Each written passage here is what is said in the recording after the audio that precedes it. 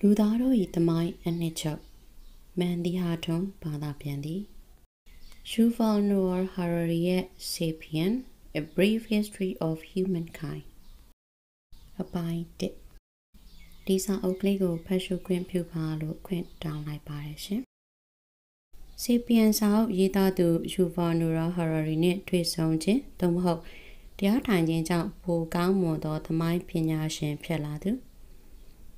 ဤအင်တာဗျူးသည် Fox Media မှ Editor Ezra Klein က Yuval Noah Harari အားမေးမြန်းဆွေးနွေးထားသည့်များကိုဘာသာပြန်ထားခြင်းဖြစ်သည် Yuval Noah Harari ပထမစာအုပ် Sapiens ကိုနိုင်ငံတကာတွင် အလွန်လူကြိုက်များသည့်အစ္စရေးလူမျိုးသမိုင်းပညာရှင် Harari စိတ်ကူးဉဏ်ထူးခြားကောင်းမွန်စွာရေးသားထားသော Sapiens သည် Bill Gates, Mark Zuckerberg, Obama အစရှိသူတို့၏အနှစ်သက်ဆုံးသောစာအုပ်စာရင်းဝင်2018ခုနှစ်ကမ္ဘာစီးပွားရေးဖိုရမ်တွင်ပညာရှင်များတန်းစီစောင့်ဆိုင်နေကြစဉ်ဂျာမနီဒစ်တီအန်ဂျလာမာကယ်ကပင်ဟာရီထံသို့တကူးတကသွားရောက်ကဆေပီယန်စ်ကိုသူမဖတ်ကြောင်းမိတ်ဆက်ပြောဆိုခဲ့သည်ဟယ်ရီနောက်တအုပ်ဖြစ်သော Homo Deus အနာဂတ်သမိုင်းအချင်းချုပ် A Brief History of Tomorrow သည်လူသားများအတွက်အနာဂတ်တွင်စောင့်ဆိုင်နေမည့်အရာများကျွန်ုပ်တို့၏စိတ်ကူးဉဏ်နှင့်တီထွင်မှုများကကျွန်ုပ်တို့၏နာဂတ်ကိုချိန်ချောက်နေပုံကိုပြောထား၏။ယင်းစာအုပ်သည်လည်းဗြဟ္မစာအုပ်ကဲ့သို့အလွန်စိတ်ဝင်စားဖွယ်ကောင်းပေသည်။ဆေဘီယန်ကိုဖတ်ပြီးကလေးကအယ်ရီနဲ့ကျွန်တော်စကားပြောချင်နေမိသည်။သူနဲ့ပတ်သက်၍ကျွန်တော်တွင်မဟာမေးခွန်းကြီးတစ်ခုရှိ၏ အဘယ်သို့သောစိတ်ထားရှိသူကရှေပီယန်ကဲ့သို့သောစာအုပ်ကိုရေးနိုင်ပါသနည်းအခုတော့ကျွန်တော်သိရပြီရှင်းလင်းနေသောစိတ်ရှိသူသာဖြစ်ချေ၏ပြောရမည်ဆိုရင်ကျွန်တော်တို့၏ဆွေးနွေးမှုတွင် Harry ပြောသမျှအားလုံးသည်အံ့ဩနှစ်သက်ဖွယ်ကောင်းလာသည်သို့တော့ကျွန်တော်လုံးဝထင်မှတ်မထားသည်မှာသူ၏သမိုင်းဆိုင်ရာအနာဂတ်ဆိုင်ရာစာရန်များအလုပ်များပတ်သက်၍ ဝိပဿနာတရားကျင့်ခြင်းအရေးပါပုံပင်ဖြစ်သည်ဟရရီသည်နှစ်စဉ်နှစ်တိုင်းရက်60ဝစီပိတ်တရားကျင့်သည်အောက်ပါအကြောင်းအရာများသည်ကျွန်တော်တို့၏ဆွေးနွေးမှုများထဲမှဖြတ်တန်ဒီကိုဖြတ်ကာဖတ်၍ရှင်းလင်းစေရန်ပြန်လည်တီးဖြတ်ထုတ်နှုတ်ထားသည်များဖြစ်သည် သူဤတရားထိုင်သည့်အကျင့်များနှင့်တကွလူသားမျိုးနွယ်တစ်ခုလုံးနှင့်ပတ်သက်သောအရာများကိုမြင်လာနိုင်စေရန်တရားထိုင်ခြင်းကထောက်ကူပြုခြင်းနှင့်ပတ်သက်၍ထက်ထဲဝင်ဝင်ပြောဆိုဆွေးနွေးခဲ့ကြသည်တရားသာမထိုင်ဖြစ်ခဲ့ရင်အလေခိကအစီရေးသမိုင်းနဲ့ပတ်သက်တဲ့သူတေသနာတွေပဲလှုပ်ဖြစ်နေမှာလို့ဂယ်ရီယန်သတင်းစာမှာခင်ဗျပြောခဲ့တယ်နော်နီယန်ဒယ်တာတွေလူသားဆက်ရုပ်တွေနဲ့ မပတ်သက်တဲ့လူဖြစ်နေမှာပေါ့။သမိုင်းပညာရှင်တယောက်အနေနဲ့တရားထိုင်ခြင်းကခမရကိုဘယ်လိုအယူအဆတွေအပြောင်းလဲတွေယူဆောင်လာပြီးတယ်လဲ။အဓိကအပြင်နှစ်ခုရှိပါတယ်။ပထမတစ်ခုကအာယုံစူးစိုက်နိုင်ခြင်းပဲ။အသက်ရှူခြင်းလိုမျိုးအရာကိုတောင်စူးစိုက်နိုင်အောင်ကိုယ်စိတ်ကိုအကျင့်လောက်ထားတယ်ဆိုရင်တိထက်အများကြီးကြီးမားတဲ့အရာတွေပေါ်မှာအာယုံစူးစိုက်နိုင်တဲ့တမာတိခင်ဗျားမှာရှိသွားပြီပြောရမယ်ပြီးတော့တကယ်ရေးပါတဲ့အရာတွေကိုခြံရှိတဲ့ရှိရှိသမျှအရာတွေတဲကနေ ခွဲထုတ်နိုင်စွမ်းရှိသွားတယ်သိပ္ပံစာတန်းတွေနဲ့ပတ်သက်တဲ့ကျွန်တော်အလုပ်တွေတဲ့အထိပါဒီတမာတိကိုယူလာတာပဲခက်လဲတော်တော်တော့ခက်ပါတယ်အထူးသဖြင့်အင်တန်ရှင်လျားတဲ့သမိုင်းချောင်းတွေပြောရပြီဆိုရင်ဘာမဟုတ်တဲ့အရာလေးတွေမှာနွန်နစ်မလို့ဖြစ်သို့မဟုတ်အခြားတန်းနဲ့ချီတဲ့အဖြစ်ပြက်အကြောင်းအရာတွေနောက်စိတ်ကပါသွားတာမျိုးပေါ့။တမိုင်းတခြားဖြစ်ပျက်ခဲ့သမျှအားလုံးထဲမှာတကယ်ရေးပါဆုံးကဘာလဲဆိုတာကိုကိုကိုအမြဲပြန်သတိပေးနေရတာဟာတော်တော်ခက်ပါတယ်။ဒါမှမဟုတ် လက်ရှိကဘာပေါ်မှာဖြစ်ပျက်နေသမျှတွေထဲမှာဘယ်ဟာကတကယ်အရေးပါဆုံးလဲဆိုတာမျိုးပေါ့ခုလိုမျိုးကျွန်တော်အာယုံစူးစိုက်နိုင်တာတွေကတရားထိုင်ခြင်းကရတာပါနောက်တစ်ခုကတော့ကျွန်တော်အထင်အဲ့ဒီ ဝိပဿနာတရားကျင့်တယ်ဆိုတာကိုကတကယ်အရှိတရားနဲ့စိတ်ကူးရင်မှုရုပ်တရားနံတရားကိုခွဲခြားရတာပါဘယ်ရာကတကယ်ရှိတယ်ဘယ်ရာကတော့ဖြင့်ကျွန်တော်စိတ်ထဲမှာအတွေးတွေနဲ့ဖန်တီးတည်ဆောက်ထားတယ်ဆိုတာကိုခွဲခြားရတာပါကိုလက်ခံတဲ့အရာ69ရာခိုင်နှုန်းနီးပါးကစိတ်ထဲကအတွေးတွေတက်တက်ပါသမိုင်းမှာလည်းအဲ့ဒီလိုပါပဲလူတော်တော်များများကဘာသာရေးအတွေးခေါ်တွေအမျိုးသားရေးအတွေးခေါ်တွေဇီဝရေးအတွေးခေါ်တွေရဲ့လွှမ်းမိုးမှုကိုခံရတယ် ပြီးတော့ဒီတွေးခေါ်တွေကိုတကယ်အရှိတရားအဖြစ်လက်ခံလိုက်ကြတာပဲသမိုင်းပညာရှင်တယောက်အနေနဲ့ကျွန်တော်ရဲ့အဓိကရည်မှန်းချက်ကကဘာကြီးမှာလက်ရှိတကယ်ဖြစ်ပျက်နေတာတွေနဲ့နှစ်ထောင်ပေါင်းများစွာကလေးကလူတွေဖန်တီးလာတဲ့စိတ်ကူးရင်မှုတက်တက်အဲ့ဒီနှစ်ခုကိုခွဲခြားပြဖို့ပါဒါမှလက်ရှိကဘာပေါ်မှာဖြစ်ပျက်နေတာတွေနဲ့ပတ်သက်ပြီးကျွန်တော်တို့ထိမ့်သိမ်းနိုင်မယ်ဒါမှမဟုတ်နားလည်နိုင်မှာပါခမားစာအုပ် Sapiens မှာ ပါတဲ့အတွေးမြင်တွေတဲကအဓိကကြတာတကူကကျွန်တော်တို့လူသားမျိုးနွယ် Homo sapiens တွေကကဘာကိုအုပ်စိုးနိုင်တာကကျွန်တော်တို့တွေစိတ်ကူးရင်နိုင်တာသို့မဟုတ်ပုံပြင်တွေပြောနိုင်တာပဲအားလုံးလက်ခံကြတဲ့အတွေ့ယူဆတွေကိုစိတ်ကူးရင်နိုင်ခြင်းကြောင့်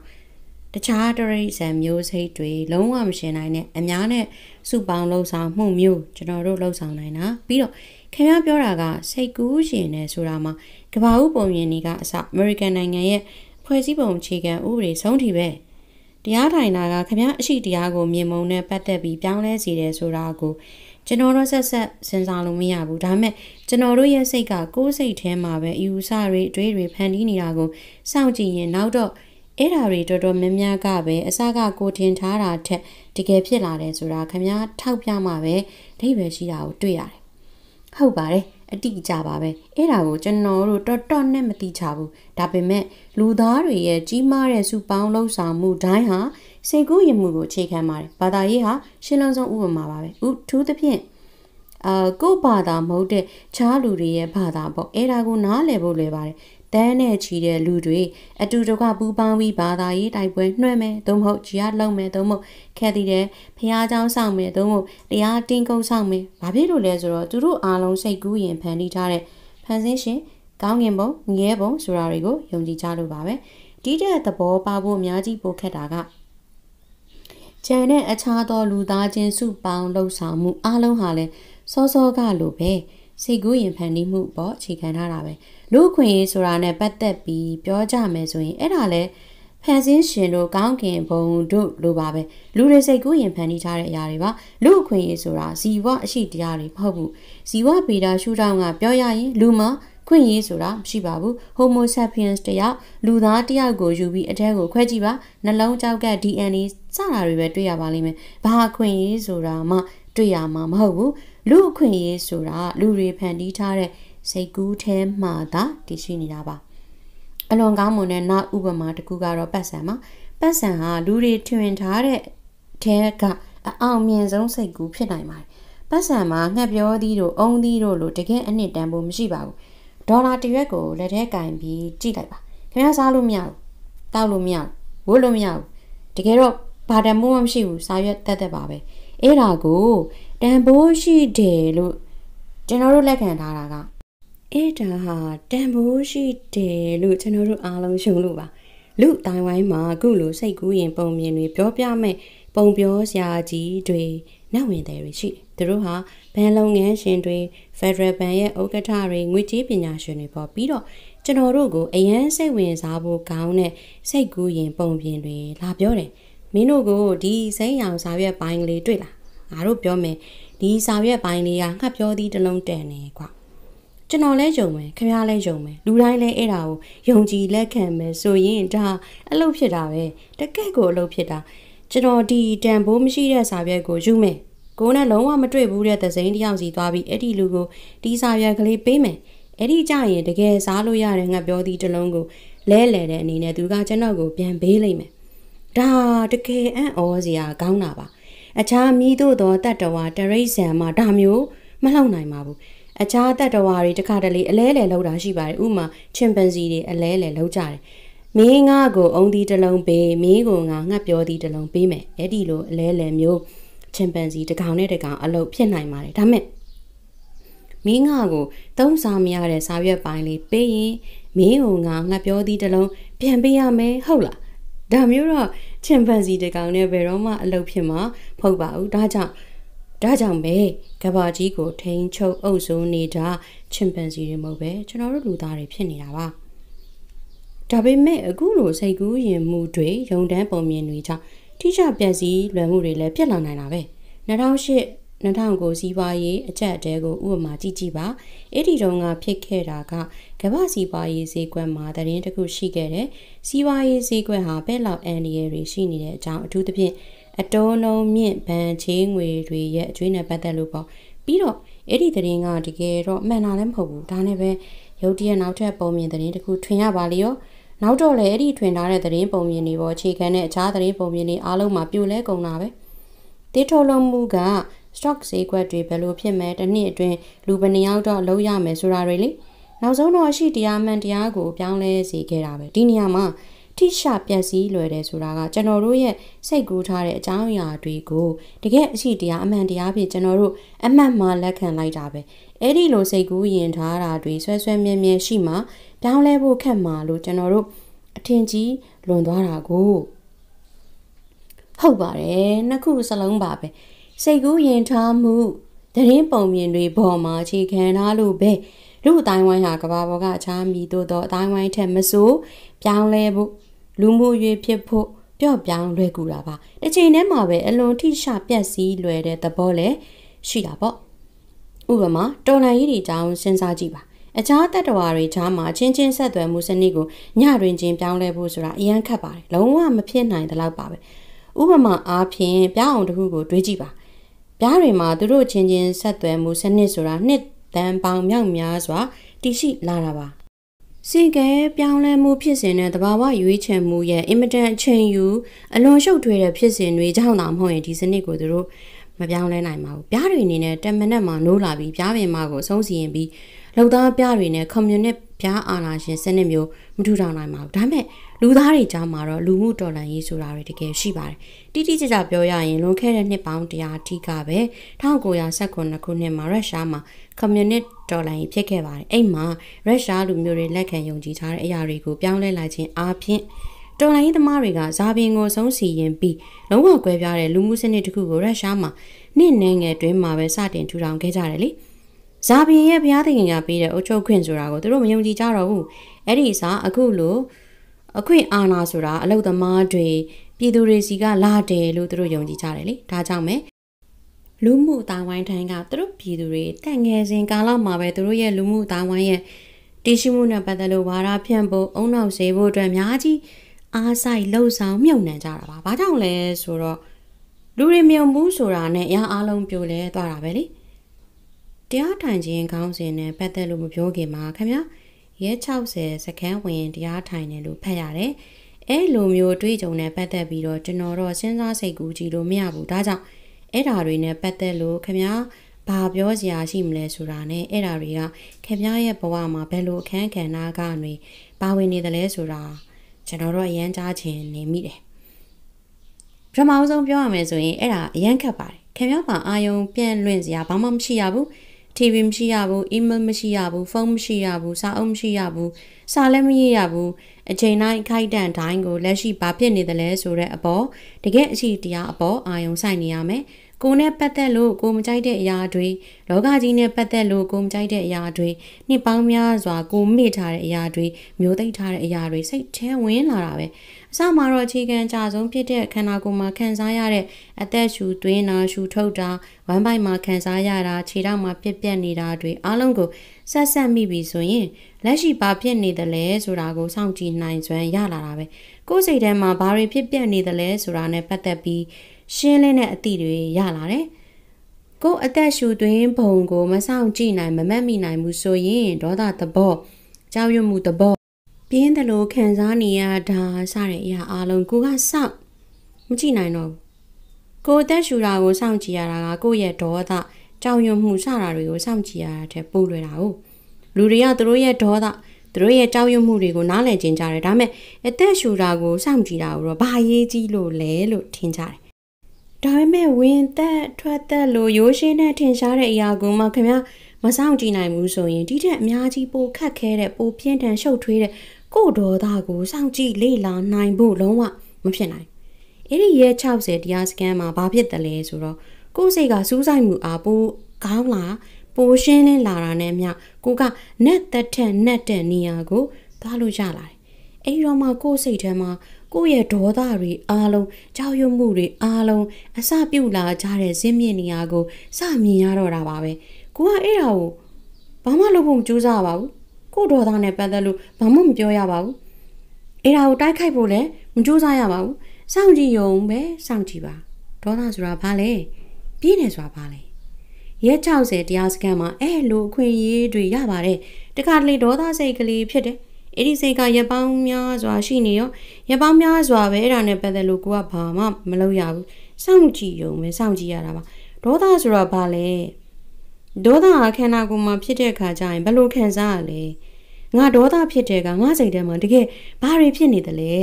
ဒီလိုမျိုးကိုယ်အတွင်းစိတ်ထဲမှာဖြစ်ပြနေတဲ့သဘာဝကိုအမှန်တကယ်စောင့်ကြည့်လေ့လာရတာကျွန်တော်တွေ့ကြုံဘူးသမျှထဲမှာထူးခြားအံ့ဩစရာအကောင်းဆုံးအရာပါ အဲ့လိုတရားထိုင်တာကိုခင်ဗျာအမြဲမပြတ်ဆက်တိုက်လုပ်နိုင်တာတန်ဒိတ်တန်ချထားနိုင်တာကိုတော့ကျွန်တော်ထင်ကြီးမိတယ်ဗျာဆေဖီယန်စာတမဟုတ်ချင်းနိုင်ငံတကာမှာရောင်းအကောင်ဆုံးဖြစ်သွားတယ်ဆီလီကွန်တောင်ကြားမှာ အကြီးအကျယ်လူကြိုက်များတယ်ကျွန်တော်ဘယ်ဂိတ်ကိုဒီမှာအင်တာဗျူးတော့က Sapiens ကိုဖတ်ဖို့ကျွန်တော်နဲ့တကွပေးသက်တွေကိုသူတိုက်တွန်းခဲ့တဲ့ Mark Zuckerberg လည်း Sapiens အကြောင်းပြောတယ် Barack Obama လည်းထိုနည်း၎င်းပဲအခုဆိုတွေ့ဆုံစကားဝိုင်းတွေအခချင်းငွေပေးတဲ့စကားဝိုင်းတွေညီလာခံတွေအစည်းအဝေးတွေမှာခင်များရဲ့ကိုယ်ပိုင်ချိန်ကိုတောင်းဆိုနေချိန်မှာကျွန်တော်စဉ်းစားကြည့်တယ်ခုဆိုခင်ဗျားမှာလုံးစရာတွေမနှဲမနှောရှိနေမှာတေးချပဲ ခင်ဗျားရဲ့အောင်မြင်မှုနောက်ပိုင်းဒီဘက်နှစ်အတွင်းမှာတရားထိုင်တာနဲ့ပတ်သက်ပြီးပြောင်းလဲသွားတာရှိမရှိကျွန်တော်စိတ်ဝင်စားမိတယ်နောက်ညီလာခံတခုဆွေးနွေးစကဝိုင်းတခုတက်ချင်စိတ်ကတော့အများနဲ့ဖြစ်ပါတယ်ဒါမဲ့ဒီတရားထိုင်တာနဲ့ပတ်သက်ပြီးကျွန်တော်စီကန်းတကြဒီဇိုင်းမက်မက်လုပ်ပါတယ်ဘာကြောင့်လဲဆိုတော့ဒါ တကယ်အရေးကြီးဆုံးအရာလို့ကျွန်တော်သိနေတာကိုဒါကျွန်တော်အောင်မြင်မှုတွေရဲ့အရင်းမြစ်ပါဒါကြောင့်ကျွန်တော်နောက်တစ်နှစ်စာကိုကြိုတင်စီစဉ်ချတော့မယ်ဆိုတော့ ਨੇ ပထမဆုံးကျွန်တော်လုပ်တာအဲ့ဒါပဲဒီ2000စက်ခွန်မှာဆိုရင်ကျွန်တော်အောက်တိုဘာ15ကနေဒီဇင်ဘာ15အထိကရဲ60တရားစခန်းအတွက်အိန္ဒိယကိုကျွန်တော်သွားမယ်ဆိုတာကြိုသိနှင်ပြီးသားပါကျွန်တော်အချိန်စရာမှာအဲ့ဒါကိုကျွန်တော်အရင်ဆုံး တတ်မှတ်ပါတယ်ကျန်တဲ့အရာတွေအားလုံးအဲ့ဒါနဲ့မတိုက်အောင်လွတ်အောင်ပဲစီစဉ်ပါတယ်လွန်ခဲ့တဲ့2016တုန်းကလည်းဒီလိုပါပဲတကယ်ဆို Trump ရဲ့ရွေးကောက်ပွဲဆို January လ20ကျမှကျွန်တော်ကြားရတာပါတရားစခန်းကနေအဲ့ဒီချိန်ကျမှကျွန်တော်ထွက်လာတာဟုတ် November အစောပိုင်းမှာတရားစခန်းဆောင်ဝင်တော့ရွေးကောက်ပွဲကိုကျွန်တော်လွတ်သွားတယ်စောစောကကျွန်တော်ပြောခဲ့သလိုပါပဲဘလို့မျိုးစိတ်ပြန့်လွင်စရာမှမရှိရပါဘူးပြင်ပကဘာနဲ့ဘလို့အဆက်အသွယ်မှမရှိပါဘူး email မရှိဘူး TV မရှိဘူး ဘာမှမရှိရပါဘူးဆိုတော့အပြင်းမှာဘာတွေဖြစ်နေကြသလဲဆိုတာနဲ့ပတ်သက်ပြီးဘာမှမသိရပါဘူးဒါပေမဲ့ကိုယ်စိတ်တွင်းမှာဖြစ်ပျက်နေတာတွေကတော့အလွန်တရာမှစိတ်ဝင်စားဖို့ကောင်းပါတယ်တနေ့တနေ့ကိုနှစ်နာရီအမြဲတမ်းတရားထိုင်တဲ့အပြင်တနေ့တာမှာရရှိတဲ့တရင်အချက်လက်တွေအားလုံးကိုဘယ်လိုထားသူစီမံခန့်ခွဲပါသလဲတကယ်စစ်မှန်တဲ့အရာအရေးပါတဲ့အရာတွေနဲ့ပေါ်ပင်ပုံမြင်တတ်တဲ့အကြောင်းအရာကိုဘယ်လိုခွဲခြားပါသလဲ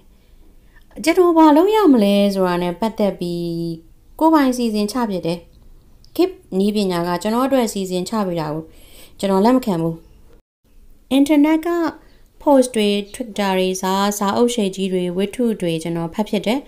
လွန်ခဲ့တဲ့ရာစုနှစ်မှာဖြစ်ပျက်ခဲ့တဲ့အရာတကူကသတင်းအချက်လက်တွေရှားပါငန်းမှုမှုကနေသတင်းအချက်လက်တွေအစမတန်ပိုရှံမှုဘက်ကိုအရွေ့ဖြစ်သွားတယ်လို့ကျွန်တော်ထင်တယ် အရင်ကဆိုသတင်းအချက်လက်နဲ့ပတ်သက်လို့အဓိကပြဿနာတွေကလူတွေအတွက်အလုံးလောက်မရှိတာစင်စာဖြတ်ခံရတာသတင်းအချက်လက်တွေကရှားတယ်ပြီးတော့ရယူဖို့လည်းခက်တယ်အခုဆိုလုံးဝပြောင်းပြန်အလုံးတရာကိုကြီးမားများပြားတဲ့သတင်းအချက်လက်တွေရဲ့လွှမ်းမိုးမှုကိုကျွန်တော်တို့ခံရတာပဲကျွန်တော်တို့ရဲ့အာယုံဆိုင်နိုင်မှုနဲ့ပတ်သက်ပြီးကျွန်တော်တို့ထိန်းကုန်မဲ့သွားတယ်ပြင်ပကပုံစံမျိုးမျိုးနဲ့အရာတွေကကျွန်တော်တို့ရဲ့အာယုံစူးဆိုင်နိုင်မှုကိုခုယူသွားကြတယ်ကျွန်တော်အတွက်တော့တရားတိုင်းမှာမဟုတ်ပါဘူး အလုံးလုံးနေတဲ့အချိန်မှာလည်းပြင်ပကအရာတွေမျိုးမျိုးကြောင့်ကျွန်တော်ရဲ့အာယုံစူးဆိုင်မှုကိုသွေးဖယ်မသွားရအောင်ကျွန်တော်အလွန်စီကံကြီးစွာတေချာပဲအာယုံဆိုင်ပြီးကိုယ့်ရဲ့စူးဆိုင်နိုင်မှုကိုထိမ့်ပါတယ်ခုလိုကျွန်တော်တို့ပြောဆိုနေကြတာတွေကဟိုမိုတီယူစာအုပ်နဲ့ပတ်သက်ပြီးဆက်ဆက်စဉ်းစားရမယ့်အကြောင်းအရာအများကြီး ကျွန်တော်ကိုပေးတာအံ့ဩစရာပဲအဲ့ဒီစာအုပ်ကိုအတိုးဆုံးခြုံပြောရမယ်ဆိုရင်လူသားတွေဟာဖန်ဆင်းရှင်သို့မဟုတ်ဖျားသခင်နဲ့ပတ်သက်တဲ့စိတ်ကူးယုံကြည်မှုပေါ်မှာသူတို့ရဲ့လူမှုသားဝိုင်းကိုအခြေခံခဲ့ကြတယ်ပြီးတော့လွန်ခဲ့တဲ့နှစ်ပေါင်း100 200လောက်ကျတော့လူသားပဓာနာဆိုတဲ့စိတ်ကူးယုံကြည်မှုပေါ်အခြေခံကြပြန်ရောခုဆိုရင်သတင်းချက်လက်တွေပေါ်မှာစိတ်ကူးယုံကြည်တဲ့ပေါ်မှာအခြေခံတဲ့ဘက်ကိုရွှေ့နေကြတယ်လူအတိုင်းဝိုင်းကိုကြိုးပြုမှုအတွက်ကျွန်တော်တို့စိတ်ကြည်နေရမယ့်အတိုင်းတာက ကွန်ပျူတာအကူအညီယူ algorithm အမျိုးမျိုးနဲ့ပတ်သက်လို့သတင်းချက်လက်စီစဉ်မှုတွေကထုတ်ကုန်တွေတန်ဖိုးတွေထွက်လာအောင်ကျွန်တော်တို့လုပ်မှဖြစ်မှာပါစာအုပ်ကိုဖတ်ကြည့်တော့အဲ့ဒီအခြေအနေတွေဟာခံများတဲ့စာရင်ကျွန်တော်လူလူမျိုးမှာပိုဖြစ်နိုင်ခြင်းများတယ်လို့ကျွန်တော်ခံစားရတယ်ဘာလို့လဲဆိုတော့လောကကြီးထဲမှာတနေ့တာဖြစ်ပြနေတဲ့စူညံမှုနဲ့ခက်ဝေးဝေးမှာခမရနေတာကိုဒါကြောင့်လဲအချိန်တိုင်းမှာသတင်းချက်လက်တွေခြားထဲမှာ လူတိုင်းနစ်မြုပ်ဆွဲမဲ့နေကြတာကဘလို့ပြောင်းလဲနဲ့ဘဲလောက်ထိတရားမှုရှိတယ်လဲဆိုတာခင်ဗျားတို့မြင်ရတာပိုရှင်းပါပေါ့ဟုတ်ပါတယ်ခုနကပြောတာကစာအုပ်သစ်နဲ့ပတ်သက်လို့အင်မတန်ကောင်းမွန်တဲ့အချင်းချုပ်ပါပဲကျွန်တော်ရဲ့အသက်ရှင်နေထိုင်ပုံကကျွန်တော်ဘယ်လိုတွေးခေါ်သလဲဆိုတာကိုလှမ်းမိုးပါတယ်ကျွန်တော်ရဲ့သူ့ဒေသနာတွေနဲ့ပတ်သက်လို့အဆုံးသက်ရလက်တွေကကျွန်တော်ရဲ့အသက်ရှင်ဘုံနဲ့ တစ်ထက်သေးကြဖို့ကျွန်တော်မျှော်လင့်ပါတယ်။ဘာလို့လဲဆိုတော့ theory တွေနဲ့ရလဒ်တွေအမြင်ထုတ်ပြီးတော့ကိုယ်တကယ်အသက်ရှင်နေတိုင်းဘုံပေါ်တက်ရောက်ပြောင်းလဲမှု မရှိဘူးဆိုရင်ဘာလို့မလဲ။အတိတ်မှမရှိဘူး။ဖြစ်သွားမှာပေါ့။နောက်တစ်ပိုင်းကိုဆက်လက်တင်ဆက်ပါမယ်ရှင်။ကျေးဇူးတင်ပါတယ်ရှင်။ကျွန်မတူတာပါ။ မူရင်းစာအုပ်ကဘာသာပြန်ထားတဲ့စာအုပ်ကဝယ်ယူဖတ်ရှုဖို့အကြံပြုပါတယ်ရှင်။